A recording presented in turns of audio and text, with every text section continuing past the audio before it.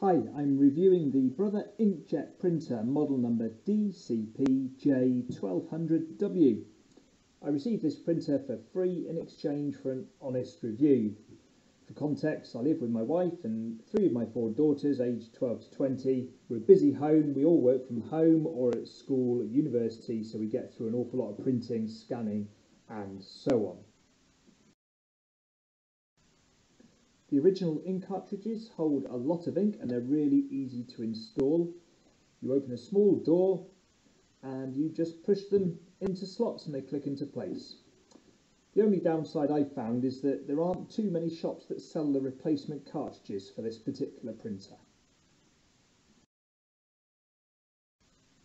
It was easy to connect the printer to my Wi-Fi network using the Brother Mobile Connect app on my phone and it was equally easy to download the drivers and software to set it up on my PC. I'm really pleased it still has a port for direct USB cable connection to my PC just in case there's Wi-Fi issues. But I'm pleased to report I've been using the printer wirelessly for two months.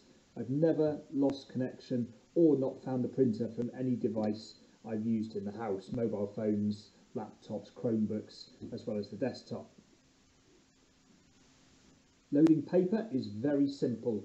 You pull out the central tray, lift the um, flap, add your paper, squeeze the green markers to the edge of the paper and you're done. Really easy for photo printing too. The smaller tray at the front there takes 6x4 photo paper in either portrait or landscape and the tray takes a range of sizes of papers but A4 and 6x4 being the most common of course. I created a test page with a mix of different colours, black and white, text, colours and a photograph to see, uh, to test the uh, print quality. Um, you'll see here in my video in normal print mode it took around 16 seconds from pressing the print button on my PC to the uh, printer. In eco mode the same test page printed a few seconds faster, just 12 seconds compared to 16. Eco mode prints are considerably fainter than normal mode though, so it's one mainly for text use, I think, and it's ideal for saving ink when you just need to print something out for informal personal use.